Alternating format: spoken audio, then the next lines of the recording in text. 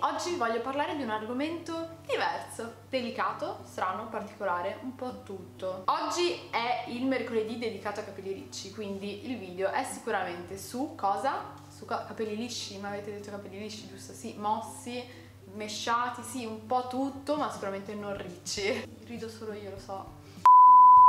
Spesso mi chiedete consigli riguardo ai capelli ricci vi do mie esperienze, vi racconto come ho risolto qualche problema, come gestire questa foltissima chioma, eccetera, eccetera. Questa volta invece vi voglio parlare di una cosa appunto diversa, ma non troppo diversa. È un argomento, una...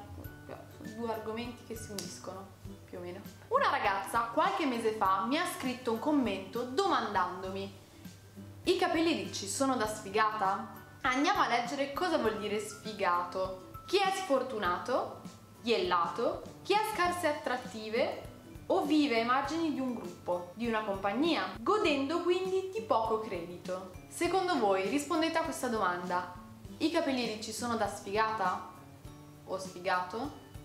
Punto interrogativo. A 12-13 anni lo pensavo? Sì, assolutamente, lo pensavo, mi sentivo sfigata e gli altri non hanno contribuito a non rendermi sfigata o almeno a non farmi credere di essere sfigata. Ho fatto un giro di parole incredibile. Mi sentivo sfigata perché mi guardavo intorno e non c'era nessuno col mio tipo di capelli, non c'era nessuno con questi ricci, non c'era nessuno con i ricci, nessuno, erano tutte lisce. Come possibile? Nessuno li aveva come me. Adesso invece lo penso, secondo me i ricci, i capelli ricci sono da sfigata? Ovviamente no!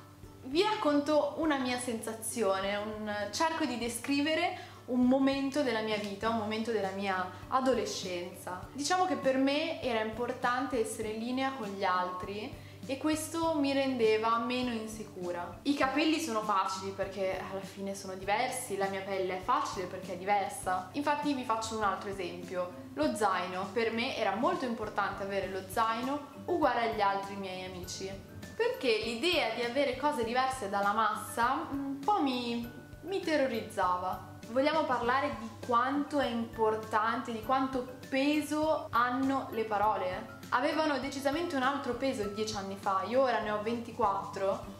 Dieci anni fa il peso delle parole era completamente diverso. Una parola fuori luogo o una parola che percepivo in un altro modo, quindi a me arrivava negativa anche se magari non era così tanto negativa, aveva un potere su di me assurdo. Mi portava proprio in un grandissimo sconforto. E ora mi chiedo, ne è valsa la pena? Lo rifarei? Ne è valsa la pena preoccuparmi così tanto di quello che pensavano gli altri? Di cercare di evitare commenti negativi? Ormai ho imparato che nella vita incontriamo un sacco di persone, migliaia di persone.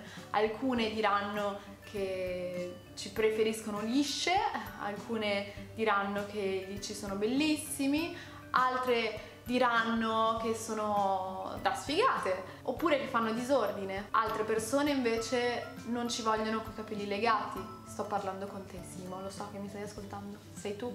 Non mi vuoi coi capelli legati? Lo so. Altre invece qualsiasi altra cosa. Ebbene, è così tanto importante farci influenzare da queste persone. Come possiamo vivere pensando sempre a ciò che pensano gli altri? Preoccuparci sempre di ciò che pensano gli altri? Sarebbe anche un problema, sarebbe sempre un cercare di raggiungere quello che vogliono gli altri e le persone sono varie, quindi è tutto diverso. Io credo che la cosa migliore sia essere se stessi sempre, pensare a ciò che vogliamo noi e non ciò che vogliono gli altri o ciò che vogliono vedere in noi.